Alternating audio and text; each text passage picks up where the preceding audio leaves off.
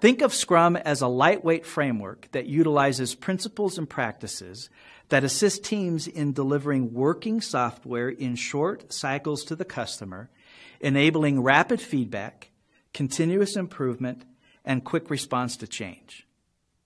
It promotes delivering value, as in working software to the customer, in an incremental and iterative way. It is not a process or technique for developing software. Rather, it is a framework within which various processes, techniques, and practices are employed. In Scrum, the iterations that deliver working software to the customer are called sprints. In each iteration, or sprint, results in potentially shippable software. This slide is a graphical representation of an agile project using Scrum. Starting at the left, you can see that the product owner owns the product backlog and, in collaboration with the team, develops the user stories or requirements for the project. The product backlog is prioritized, with the higher priority items occupying the top of the product backlog. In collaboration with the product owner, the team decides how to group the user stories into releases based on the product roadmap. Once the release planning has been completed, the user stories are then selected for a sprint. The duration of the sprint is going to be two to four weeks. Once the sprint backlog has been determined, the team then disaggregates each user story into tasks. During each sprint, the user stories are developed. As the code is written, it is integrated into the system, and daily scrums are held. At the end of a sprint, there is a sprint review where the working software is demonstrated and presented to the customer for acceptance. The team then conducts a sprint retrospective. During the retrospective, the team looks at primarily three things what went well, what did not go well, and what should be done differently going forward. The team's velocity is then updated, as are the information radiators, which transparently display the status and progress of the project, and then the cycle repeats itself until the project is complete. A sprint is an iteration in Scrum. At the beginning of a project, the Scrum team determines the duration of sprints for the project. Most sprints are going to be two to four weeks in duration. Factors affecting sprint duration include the stability of the product backlog. Once a sprint has begun, the duration is never changed, nor are any user stories added or removed. Therefore, if many changes are expected, a shorter sprint duration would be best. However, if the product backlog is relatively stable, a longer sprint duration may be appropriate. Overhead. There are overhead costs associated with each sprint. For example, every sprint is going to have a sprint planning meeting, a sprint review, and a sprint retrospective. If a team has been able to lower these overhead costs, by automated testing, continuous integration, etc., these costs can be absorbed more easily, making shorter sprints more desirable. However, if these overhead costs remain high, the team may need to use longer duration sprints. A team may be tempted to extend the duration of sprints in an effort to hide their inefficiencies. Remember, agile projects favor shorter duration sprints and it is the Scrum Master's responsibility to coach and mentor the team so it can reduce waste, irregularities, and overuse and make the sprint shorter. The goal of a sprint is to deliver working software. At the conclusion of each sprint, the team should be able to deliver near releasable or potentially shippable software.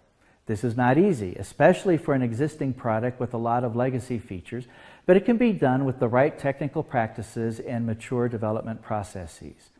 Once the sprint duration has been determined and the user stories for the sprint have been selected, the duration of the sprint cannot be altered, nor can any user stories be added or removed. The sprint will end at the appointed time, irrespective of whether the team has met the sprint goals or not. This allows for effective continuous improvement. If the team is unable to deliver the working software as planned, the team will have to figure out why that happened and then make changes to improve going forward. The product owner may choose to cancel or terminate a sprint in specific situations. For example, a significant change in priorities or a mid course correction may render the current sprint backlog invalid. Given that we are only talking about a couple of weeks of work, the cancellation of a sprint would be an extremely rare event. A sprint will begin with a sprint planning meeting and end with a sprint review and retrospective. There are three backlogs used in Scrum the product backlog, the release backlog, and the sprint backlog. The product backlog is the master container of all the user stories for the project. The product backlog is continually pruned or prioritized so that maximum value is delivered to the customer. The release backlog is a subset of the product backlog. Releases support the product roadmap, and each release is populated with user stories necessary for that release. The sprint backlog is a subset of the release backlog and contains the user stories to be developed in the sprint. As we said, the product backlog contains the user stories for the entire project, and it is the responsibility of the product owner. User stories are features, functions, or requirements that deliver value to the customer. However, the product backlog will also have to contain technical or non functional user stories necessary for the system to work properly. The product backlog may also include risk or defect related user stories. The product owner is responsible for keeping the product backlog current and up to date. This is accomplished by pruning the backlog, which is prioritizing and reprioritizing. The product backlog must also be continually groomed. This is the process of adding and removing user stories based on the needs and desires of the customer. There are four Scrum ceremonies the sprint planning meeting, the daily Scrum, the sprint review, and the sprint retrospective. Let's take a detailed look at each of these ceremonies. The sprint planning meeting is time boxed at two hours for each week of the sprint. If the sprint is going to be two weeks in duration, then the time box will be four hours.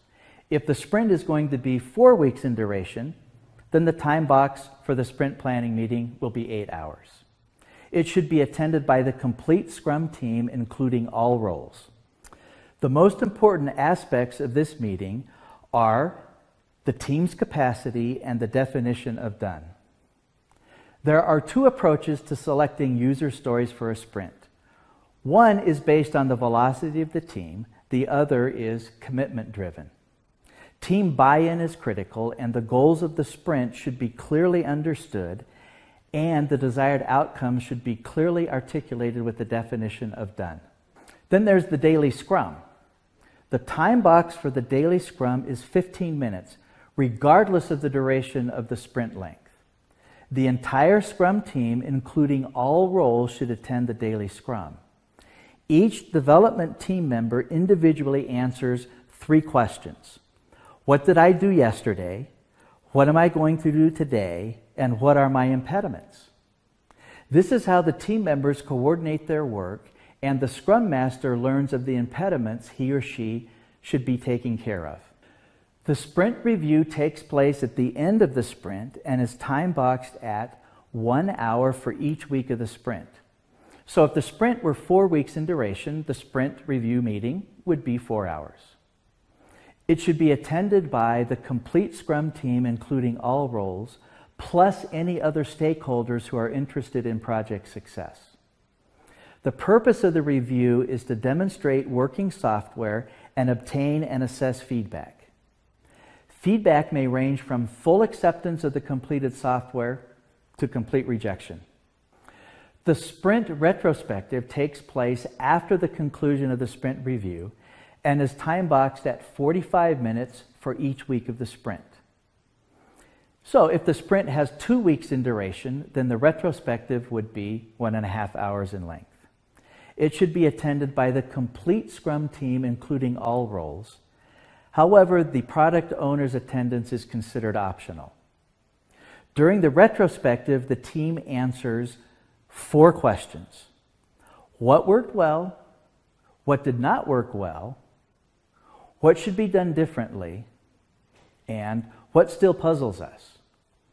One or several problem detection techniques may be used in the retrospectives, and this ceremony is a vital part of continuous improvement. At the conclusion of the retrospective, the team's velocity and the project's information radiators are updated. Then the next sprint planning meeting takes place, and this cycle continues until the project is complete. The definition of done is an important artifact for a Scrum team. It is the primary reporting mechanism for team members, and there may be a different definition of done at various levels. Definition of done for a feature or user story. The definition of done for a sprint, and the definition of done for a release. It's really just a checklist of activities that add verifiable and demonstrable value to the product. It's created by the Scrum Master in consultation with the team. A sample list of the items for the definition of done criteria is given here. The story is fully implemented or code completed as described. Automated unit tests have been developed with at least 80% code coverage. Automated unit tests and acceptance tests in the story are passing. High priority test cases have been automated and added to the regression suite. Note, this is only meant to be an example. Each team's definition of done will vary slightly depending on the maturity of the team and the specific situation of the team. Hi there, if you like this video, subscribe to the Simplilearn YouTube channel and click here to watch similar videos. To nerd up and get certified, click here.